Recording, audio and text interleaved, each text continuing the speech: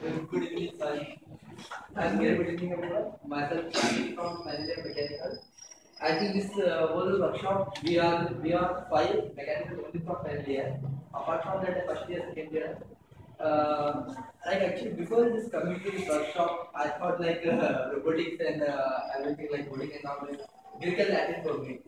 The, the first we started with the normal robot, that's exact traveler, that don't have any microcontroller and all. So we thought it will be easy for us, and we done with the exact. Next when we came to Mobilo, having the microcontroller and all, that time we thought how can we deal with microcontroller? We are from mechanical and all. Sir taken the diagram, a block rectangle.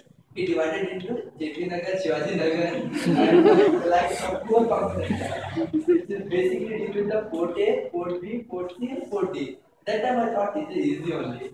Again, he told if you giving an input, like input something we are telling to system, then it should go through microcontroller.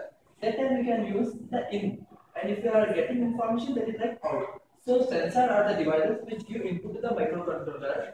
Apart from that, if you getting information from microcontroller, there is the output.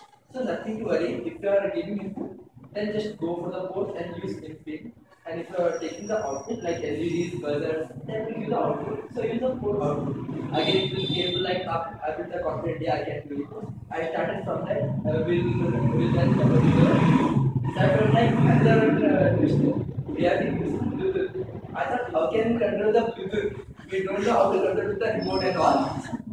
After that, sir showed like there's a Bluetooth board, and uh, he showed like how to do the programming, how to use the pin. Uh, again, uh, we already have some uh, knowledge of the C programming we learned in second semester, and uh, with that, uh, we however have the basic what is the meaning of a header file and input output scanner trigger, and uh, after using uh, after using the ports and all, how we can implement in that. Sir has shown like many videos and all and many examples. We use the example. We like finally we build the interface with Bluetooth and we will done the Mobilo. Next we go for the after Mobilo Mobibo and we went for the our famous JCBN. As a being a part of mechanical, JCB one of very interesting robot for us because it was using pneumatics and uh, in that gearing and all we done.